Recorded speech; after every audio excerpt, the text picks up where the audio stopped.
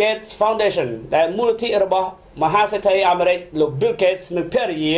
បានបរិច្ចាគថវិកាផ្ទាល់ខ្លួនប្រមាណជា100លានដុល្លារសហរដ្ឋអាមេរិកដើម្បីប្រយុទ្ធប្រឆាំងនឹងវីរុសកូវីដ -19 នេះផងដែរបាទបាទអរលោកលោកស្រីគឺថាលោក Bill Gates កម្ពុជាមហាសេដ្ឋីអាមេរិកលោក Bill Gates និងភរិយា នៅថ្ងៃពុធសប្តាហ៍នេះបានប្រកាសថានឹង ធ្វើការបរិច្ចាគថវិកាចំនួន100លានដុល្លារសម្រាប់ការប្រយុទ្ធប្រឆាំងការឆ្លងរាលដាលនៃវីរុសកូវីដ -19 ប្រភេទថ្មី ដែលបានផ្ដល់ដែលបានផ្ដល់ជីដែលបានផ្ដាច់ជីវិតមនុស្សជាង560នាក់ហើយ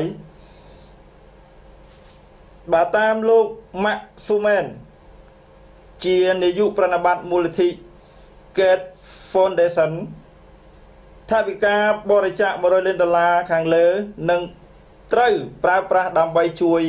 ជ្រោមជ្រែងដល់កិច្ចប្រឹងប្រែងវិភាគរោគសញ្ញាព្យាបាល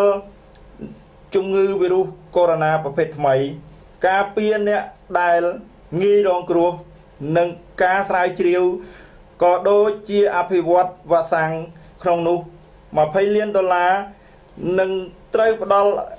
ដោយផ្ទាល់ ទៅឲ្យស្ថាប័នដូចជា អង្គការសុខភាពពិភពលោក WHO ទីភ្នាក់ងារគ្រប់គ្រង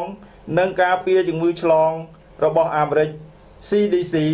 គណៈកម្មាធិការជាតិសុខាភិបាលរបស់ចិនព្រមទាំងទីភ្នាក់ងារគ្រប់គ្រង និងទប់ស្កាត់ជំងឺឆ្លងរបស់ចិន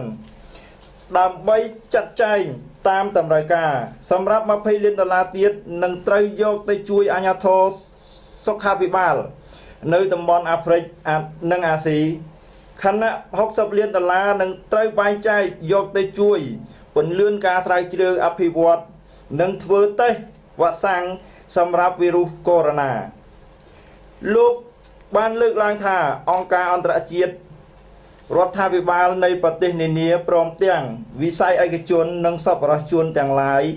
នៅជុំវិញពិភពលោកត្រូវតែសហការគ្នាដើម្បីទប់ស្កាត់ ការរីករាលដាលនៃវីរុសនេះបច្ចុប្បន្ននៅប្រទេសចិនមនុស្ស563នាក់ហើយបានស្លាប់និងឆ្លងជាង28000នាក់ដោយវីរុសវីរុសកូវីដ -19 ថ្មីបាទសូមអរគុណ